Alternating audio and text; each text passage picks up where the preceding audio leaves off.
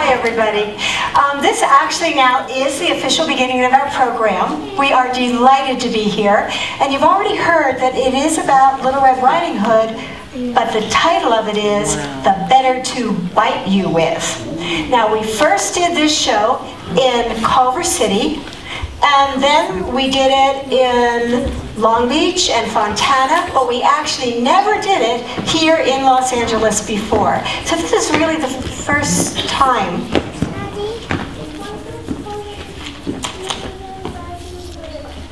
Well, it is a script, but I don't know who this is.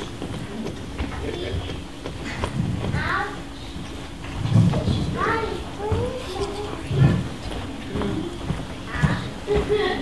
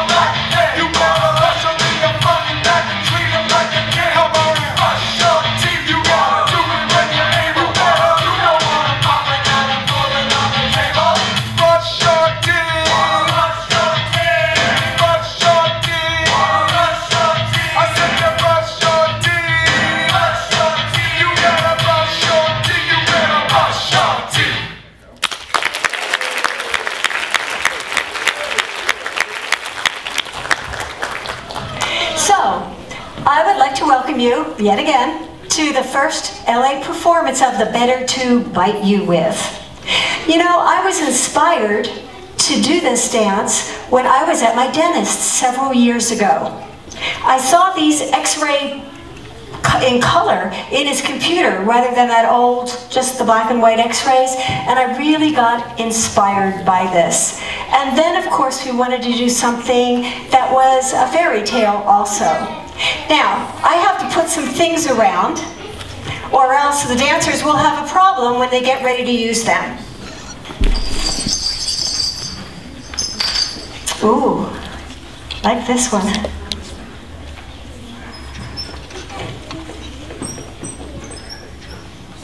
Okay, now before the fun stuff, I have to tell you what made this possible. Besides the sponsorship by the Children's Literature Department, we also, Los Angeles choreographers and dancers, and Louise Reichlin and dancers, and I'm Louise, we are funded by a grant from the uh, LA County Arts Commission through the commissioners and also through the Department of Cultural Affairs, and we're very grateful for those. Now, you already know a little bit about the fairy tale because you heard from Mara at the beginning. So I think we're ready for our story and our music. Music, please.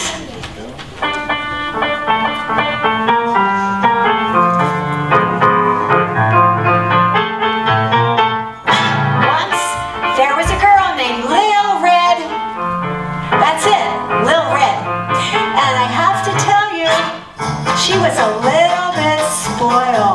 her mama's name was Mama, what do you think? Mama Green, okay? So they were really great together. And they lived downtown near the fashion district on a quiet street, but one of her favorite activities was shopping. She would go there, and whenever she saw something red, she would crave it. Oh, I love it. How about the boa? I love the boa. Or the scarf, either one. And the bag. Wait a minute. Wait, there's a hat over here. See right here in the audience? Go get that hat. You two look great. You sure there's nothing else you want to put on? You have everything? Okay, I'll let you dance.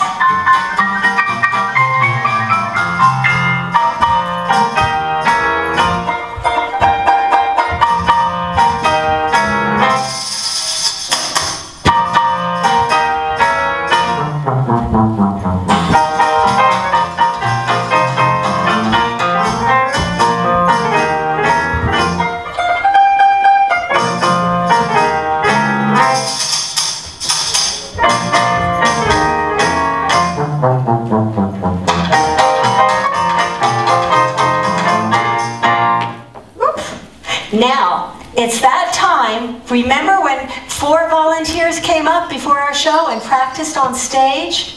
We would like you to come right up these stairs now. We're inviting you up for the next dance. Come on up right here. And Little Red and Mama Green are going to come up and work with you. There's one. Here comes two. Here comes our Morocco shaker. I see her coming now. And here comes our ball boy. So I think they're all coming up. Thank you. You're doing good. Take your time. There you go. Come right over here, sweetie. Now we did work with them a little bit beforehand, but they're pretty good. And this is to show you that when Little Red was growing up, she always loved everything that was red. All her toys were red, and look, her blanket is red. Little Red never cried when she was wrapped in a red blanket.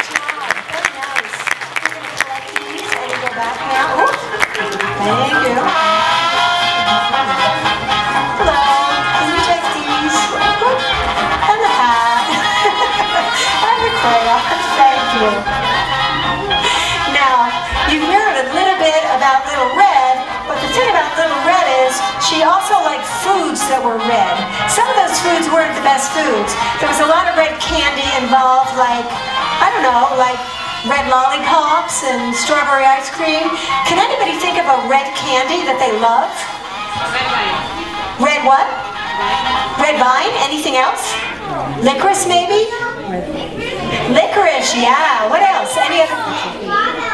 Oh my gosh, there's so many wonderful, yes.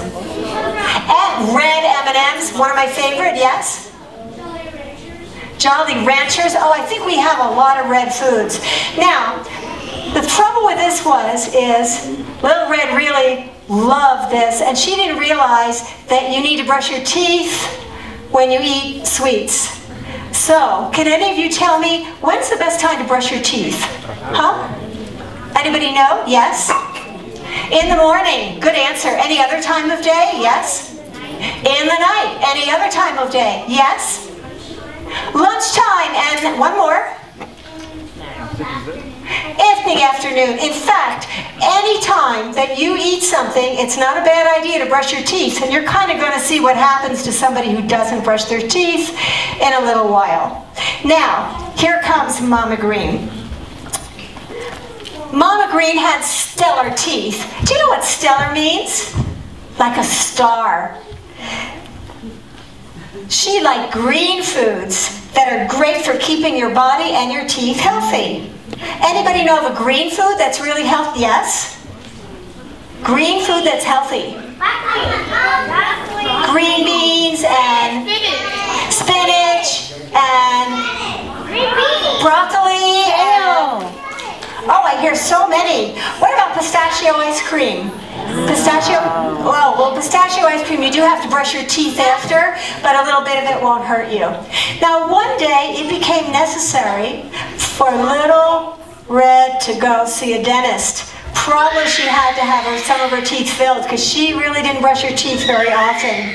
But Mama Green had to go teach a Pilates class. So instead of taking Little Red herself, she decided to send her over to Grandma's house and let her take her. I'm not sure of Grandma's last name, but I think you'll be able to tell when you meet her. She lived across Grand Park and then another park with trees before you get to East LA. At first, she enjoyed traveling by herself. And then she met some birds in the park.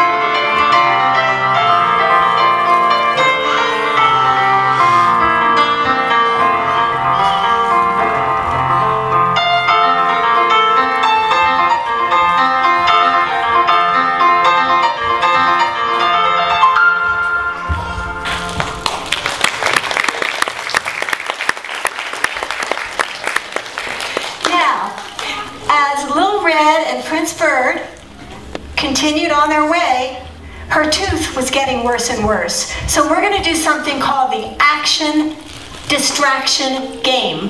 If you turn around and look at the screen, it'll take just a minute though, you're going to be watching projections of x-ray teeth where, and you'll be looking at the underside of the outside of enamel on the parts of each tooth we can see.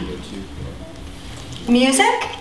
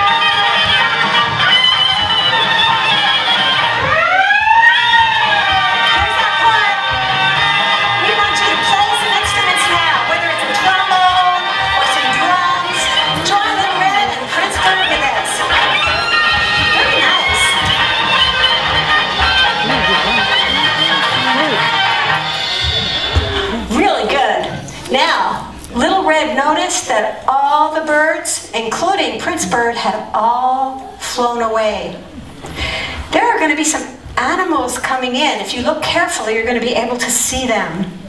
Little Red had no pets and was a little nervous around animals.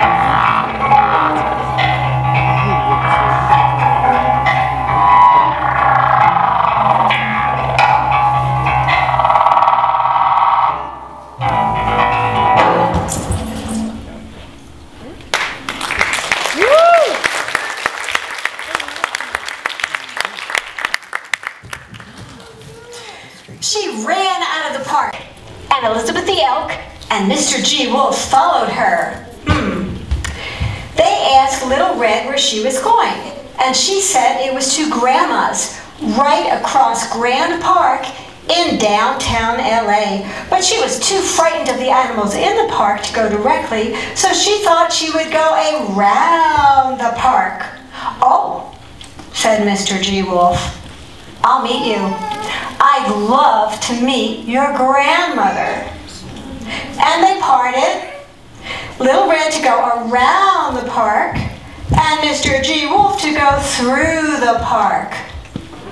Elizabeth the elk had a previous appointment, and she decided she would meet them later.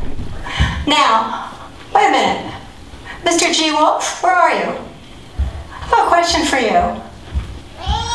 What does G stand for? Anybody know what Mr. G Wolf is? What's G stand for? No, but that's close. Anybody else know? It's a color. Gray. Great, great, great, great. Very good. So, and I have another question for you now. Are you and Elizabeth the Elk dating? Oh, okay. Well, I think that it's almost time to meet another one of our characters. Let's see if we can figure out who it is.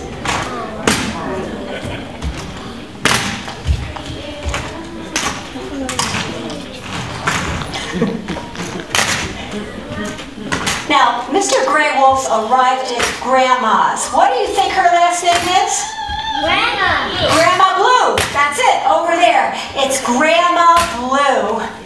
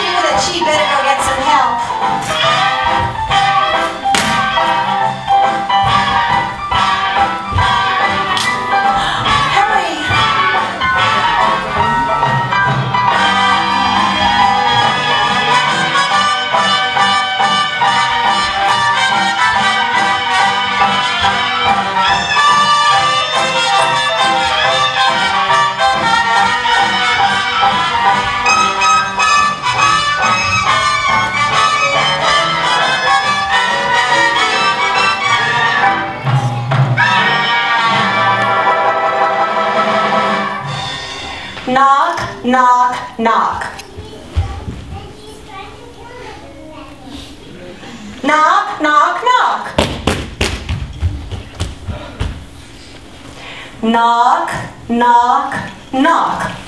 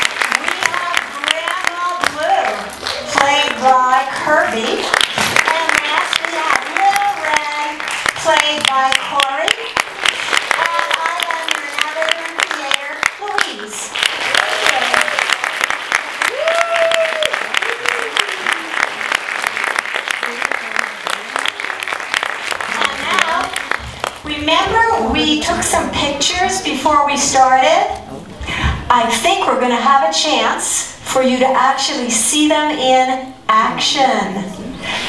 Are we ready with music? Yes. Here we go.